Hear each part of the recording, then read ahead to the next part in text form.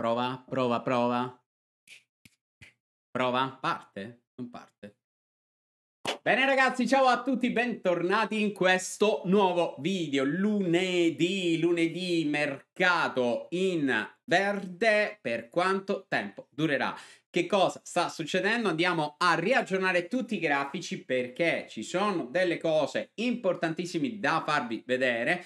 Uh, nella scorsa settimana vi ho mostrato anche quello che era una situazione un po' delicatuccia su alcune criptovalute nel video sabato, un video special perché non ero stato bene eh, venerdì e, e mh, ragazzi vi ho fatto vedere anche la questione del CRO. Eh, ancora una volta i grafici hanno avuto ragione perché proprio come in quel video lì uh, che vi mostravo nel video di sabato indicavano una debolezza un po' strana anche per la cripto di crypto.com e poi scatafascio nella eh, giornata di, del primo maggio, dopo eh, l'ennesimo aggiornamento di quelli che sono i, eh, eh, i, livelli del cashback, di cui probabilmente ragazzi alcuni saranno anche rivisti, ma comunque non è un atteggiamento strano. Ne parliamo in questo video perché vi dico anche un po' l'esperienza, perché molti di voi magari conoscono crypto.com da un annetto, ma eh, noi la conosciamo da 4-3 anni più o meno quanto sono e non è eh, nuova a questi tipi di atteggiamenti, quindi eh, sapevamo più o meno, sappiamo che fa alcune cosette di questo tipo, giusto o non giusto, l'effetto sul CRO è stato brutto nei primi giorni, ma poi magari migliora dopo. Lo parliamo anche in questo video, facciamo un piccolo briefing e quindi analisi ciclica Bitcoin, dove siamo, dove stiamo andando, analisi, eh, che succede? Analisi ciclica e tecnica della total market cap, total market cap della DeFi perché è arrivata al livellino drasticamente complicato. E poi, ragazzi, andiamo a vedere CRO che cosa sta facendo. Ha bucato il minimo dell'annuale, quindi fatevi un po' due conti. Eh, tutta la situazione anche eh, in generale la andiamo ad analizzare. Nasdaq 100 ancora non eh, tira su il suo uh, prezzo, quindi ancora non c'è una fase di ripresa, ma, ma, ma, ma, ma, ma, ma, ma scillone per quanto riguarda invece i servizi di Trading On, ragazzi, perché domani ah, uh, parte un super webinar di una strategia che è anche realizzata e messa in uno dei miei corsi di formazione eh, perché questa strategia la mostro domani in webinar privato. Trovate il link in descrizione per registrarvi al webinar. Questa strategia la mostriamo lì perché è utilissima nel momento in cui andiamo a fare, eh, a vivere proprio queste situazioni di mercato orso. Imperdibile quindi ragazzi il webinar di domani, domani martedì 3 maggio alle ore 6.30, quindi 18.30 ragazzi. Vi registrate, questo è il link che trovate in descrizione, c'è una breve descrizione anche della strategia del eh, spread trading che andremo ad affrontare. Alcuni di voi probabilmente trader professionisti la conoscono, ma darò anche delle tips molto rilevanti anche in questo tipo di, ehm, di webinar ragazzi e ne parleremo anche nei prossimi video di questo tipo di strategia perché le ho implementate due mesi fa circa e stanno anche entrando uh, nella mia Academy, ci saranno anche novità per quanto riguarda questo tipo di strategia nell'Academy proprio perché sono utili in un mercato sempre più indirizzato, un mercato eh, orso come quello che stiamo vivendo in questo momento, fermo restando che, eh, vi dirò anche in questo video, io continuo a pensare in una ripresa di breve a momenti, però poi quello è di breve appunto ragazzi, poi dovremmo andare incontro in ogni caso alla chiusura del ciclo annuale, però ragazzi, questo è un super webinar, super webinar gratuito. Registratevi nel link, mi raccomando, non mancate perché questo tipo di contenuti non sono uh, creabili, diciamo, su YouTube perché non sono così commerciali, quindi sono intensi, fatti di una vera formazione. Presenterò tra le altre cose anche tutta l'offerta relativa ai nuovi corsi di formazione che partono 2.0, ragazzi, it's training time, quindi una figata, che stiamo facendo delle cose veramente molto belle eh, sempre eh, cercando di aiutare il più possibile la community dei eh, trader e investitori in criptovalute in Italia. Quindi, ragazzi, più di questo, sei e mezza eh, domani. Poi il giorno dopo io volo per il Crypto Trading Day a Bologna. Ci vediamo con chi di voi è lì dal vivo. Parleremo anche di queste cose. Quindi non mancate. Link in descrizione. Andiamo a vedere quanto riguarda il. Um, eh, grafico e partiamo con l'analisi ciclica di Bitcoin. Ragazzi, mi metto l'occhialone Così ci vedo meglio. Allora, beh, Bitcoin ancora nella fase probabilmente del tentativo di chiudere questa struttura ciclica un po' lunga, un po' strana. Uh, ci sono due cose che bisogna tenere a mente, ragazzi.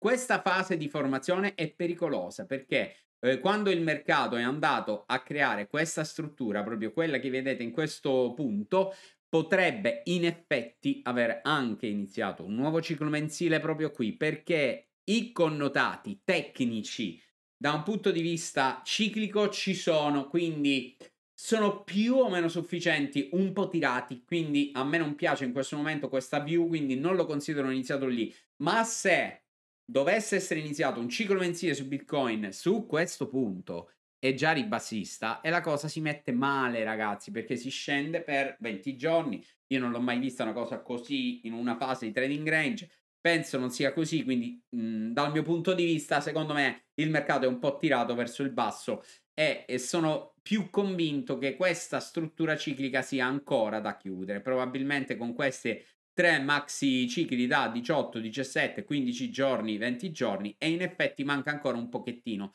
Fermo restando che il minimo dell'1 maggio potrebbe essere anche sufficiente per chiudere questa, questa fase. Quindi c'è la possibilità che vi ho detto prima, ragazzi, la possibilità c'è, però io vedo un po' di più, secondo me è più probabile il fatto che il mercato tenti un recupero nelle prossime giornate, come vi ho detto la volta scorsa. Ora, da qui, buy the dip sul mercato, no. Eh, noi avevamo un dip chiuso, tra l'altro, oh, in perdita, piccolissima, perché abbiamo seguito una strategia, seguiamo in Academy una strategia di eh, trading mensile con una o due operazioni al mese, quindi una cosa molto semplice che ci sta portando grandissimi risultati, perché siamo a 120% di rendimento in un anno, perché a giugno chiudiamo l'anno e facciamo un 120% su un mercato, ragazzi, Bitcoin, in questo caso USD, che non ha fatto nulla da giugno dello scorso anno, anzi forse è anche più giù, quindi ha perso. Quindi eh, grande strategia, grande performance e soprattutto tranquillità perché facciamo una sola eh, operazione, l'ho fatta solo per quello. Quindi la gestiamo, a volte va in perdita e questo mese è andato in losso, ma abbiamo fatto un buon money management, abbiamo perso solo il 3,5% circa. E va benissimo perché veniamo comunque da grandi giornate di profit, diciamo, da grandi mesi di profit. Però proprio in quella strategia dobbiamo inserire un nuovo ordine per il mese di maggio. E ancora il buy the dip io non l'ho fatto, ragazzi, non l'ho uh, posizionato. Poi magari mi lascio al palo, vediamo, magari poi farò un intervento in break, eh, in breakout di qualche livello. Però vi dico che io ancora attendo perché il mercato potrebbe ancora andare a buttare giù qualche livello di supporto e chiudere questa fase in maniera definitiva fra qualche giorno e magari fare una cosa del genere intorno ai 36 però io continuo a vedere la possibilità che questa fase eh, possa portare poi nei prossimi giorni ad un recupero. Quindi non ho fatto alcuna operazione senza che poi mi dite che ho detto che saliva. Io, um, questo è quello che penso, ragazzi. Poi, però, si segue il trend. Trend is your friend. Quindi, se voi non andate a favore di trend, state eh, creando delle strategie, dovete poi proteggervi. Quindi, se io vado qui in buy the dip, ragazzi, è chiaro che mi proteggo con degli stop perché sono contro trend, perché il mercato in questo momento fa un trend al ribasso. Quindi, ok che io mi aspetto che il mercato viri, però segnali tecnici non ce ne sono. Quindi è solo una questione che qui eh, dovrebbe andare a chiudere un ciclo, se lo fa sempre che non l'abbia già iniziato qui, ragazzi, perché se l'ha iniziato qui siamo messi malissimo. Però se non l'ha iniziato lì e penso che eh, abbia, ci sia più probabilità che inverta, però poi deve darci i primi segnali. Già un primo segnale dovrebbe essere il superamento di questo livello 40.005. Quindi fin tanto che non arriva lì e mi supera le due medie mobili, come ben sapete, non cambia niente. Le mie due medie mobili, che guardate che livello bellissimo che hanno di supporto e resistenza, quindi in questo caso supporto quando si sale e poi resistenza quando si scende. Quindi aspettiamo almeno di superarle prima di prendere posizione. Quindi analisi tecnica tutto a ribasso, non dà segnali Bitcoin al momento, ci sono dei livelli 40.005, tenetelo a mente. L'analisi ciclica ci dà più speranze che nei prossimi giorni, se non è su questo minimo, magari domani dopodomani, il mercato possa andare a chiudere una struttura e ripartire. Tutto dipenderà sempre comunque da Nasdaq 100, perché poi al di là di questo, ragazzi, dovremmo anche vedere dove va questa ripartenza. Abbiamo già diverse cripto che sono virate in cicli annuali ribassisti, perché siamo nell'anno del bear market, ragazzi. Bitcoin ancora no, Ethereum ancora no, Luna ancora no, però tante cripto, tra le quali anche CRO, proprio nei giorni scorsi è virata al ribasso. CRO, che cavolo mi combini? Crypto.com non è nuova, ragazzi, a questi giochini, cioè quello che ha fatto già altri anni prima prende una serie di pubblico retail, dopodiché eh, cambia le carte in tavola a gioco fatto a convenienza. Questo discorso è giusto, non giusto, non è una critica a un'azienda che ovviamente ha un unico obiettivo, ragazzi, quello di fare profitto. È inutile che ci giriamo intorno, è un'azienda e l'obiettivo è fare profitto. Probabilmente c'era una insostenibilità di quello che sono i cashback eh, al 3%, in realtà mi sembra un po' eccessivo l'atteggiamento che si è avuto anche nei confronti di alcune eh, delle carte, quelle più top. Magari toglievano il cashback nella carta eh, free e va bene, ma nelle carte diciamo che sono state pagate oro e ah, tanto tempo fa, magari qualcuno tra le altre cose ha anche perso perché magari l'ha uh, ritirata da pochi, da pochi giorni, quindi andando a frizzare i CRO che sono crollati di, di, di una cifra, e, insomma, quindi ragazzi, un loss pesantissimo. Allora, ancora una volta, non ci sono pasti gratis sul eh, mercato, ehm, però c'è anche da dire che Crypto.com eh, anni fa, ragazzi, fece un giochino. Quando ha cambiato le carte in tavola, a un certo punto eh, poi ha rivisto magicamente ehm, quelli che erano le, eh, le, le, diciamo, i livelli che aveva indicato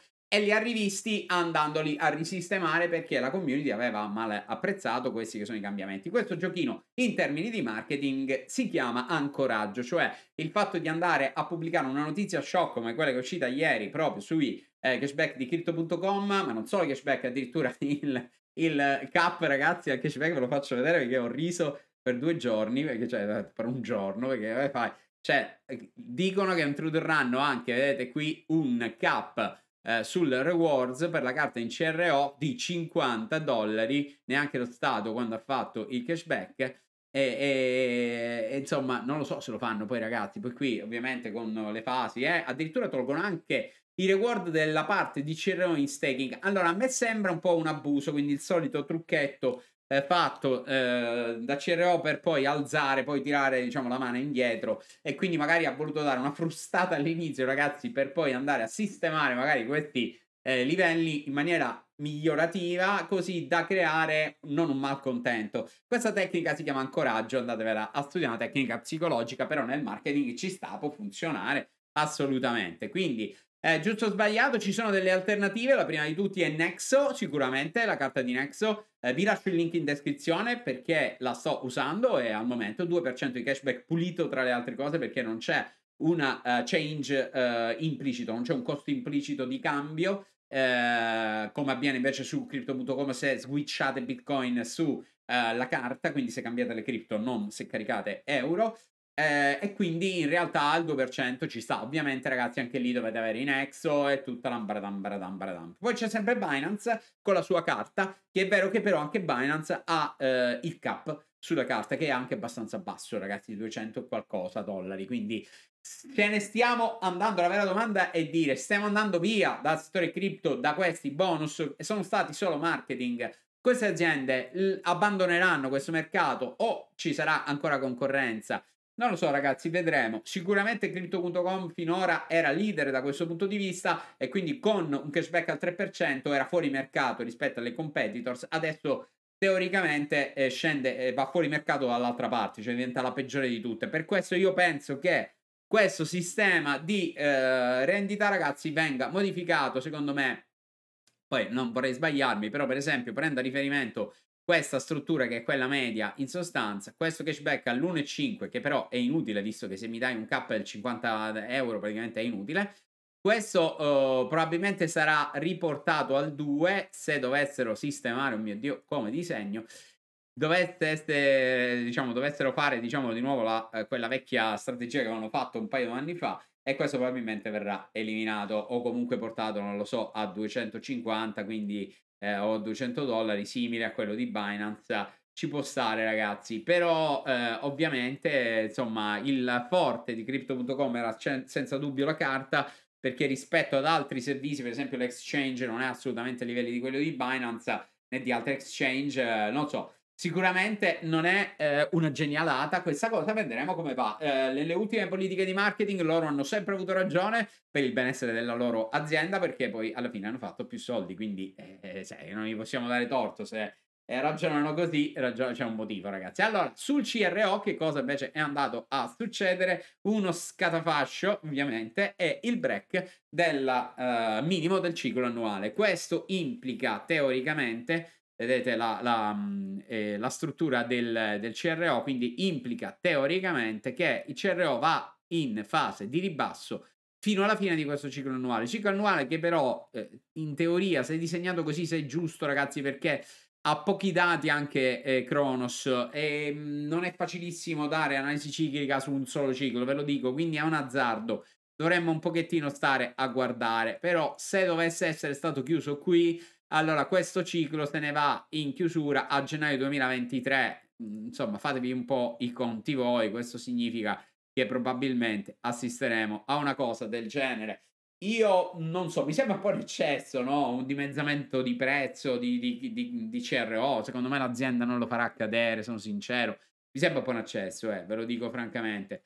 Però sicuramente trend ribassista, confermato il breakout del minimo del ciclo annuale. Se questo è il ciclo annuale, non faccio operazioni sul CRO. Avevo solo uno spread sul CRO proprio creato ehm, tra eh, crypto.com, quindi proprio tra CRO e BNB. Ve lo dico già proprio subito, ve lo faccio vedere domani nel webinar. Anche questo, ragazzi, domani alle sei e mezza ne parliamo. E, e, quello, vabbè, ha funzionato, ma quella è una strategia differente. In questo caso, io penso che l'azienda metterà una pezza. Secondo me, eh, bisogna stare un po' attenti. Io non... Allora, il trading sì, breve sì, ma neanche medio. Uh, a questo punto su questa cripto uh, la lasciamo perdere per un po' di tempo e vediamo che cosa fa. Perché la struttura ciclica annuale è troppo piccola per andare a ipotizzare chissà che cosa, ragazzi. Non voglio dare indicazioni che poi eh, mancano di dati perché sono un analista quantitativo, quindi lo so che sto, eh, diciamo, andando fuori no? dagli schemi perché non ci sono dati sufficienti per dirvi delle cose. Certo, però non è che possiamo stare ad aspettare tre anni per andare a capire cosa fare. Quindi, comunque, un'idea ce la facciamo. E l'idea è questa qui, quella che vi sto uh, dicendo. Allora, Uh, aspettiamo qualche giorno per vedere intanto se Crypto.com uh, sistema un pochettino questo schiaffo che ha fatto perché altrimenti questa carta praticamente muore insieme a tutto il resto io non credo che vogliano far morire la carta quelli di Crypto.com mi sembra strano ragazzi vi dico eh, francamente è il fatto di andare a posizionare tutto sulle eh, le Ice, le Rose, l'Obsidian che so, 5% ci vogliono capitali immensi cioè non, non, so, capito? Poi non danno il cashback sul capitale, cioè quindi non, cioè, no, scusate, non danno la rendita sul capitale. Secondo me rivisiteranno queste, queste strutture, ragazzi. Comunque, eh, fatemi sapere anche voi cosa ne pensate di questa questione nei commenti, confrontiamoci ci sta sempre. Eh, ho pubblicato su Twitter tante cose, poi ovviamente le critiche. Sì, sì, sì, sì, sono gratis, si dice in gergo, no? Però bisogna pure capire che cosa c'è da fare. È vero che CRO in questo caso eh, diminuisce proprio la quantità di inflazione, questo è vero ragazzi, però è anche vero che non serve più a niente, quindi a quel punto solo DeFi. E allora sulla DeFi dobbiamo andare a vedere eh, come, dove e quando, perché se lo usiamo solo per la DeFi, allora l'azienda deve tirare fuori altri assi nella manica perché eh, cioè un CRO così per una carta non serve a niente. Quindi è vero che non è inflattivo più, cioè si, si riduce l'inflazione,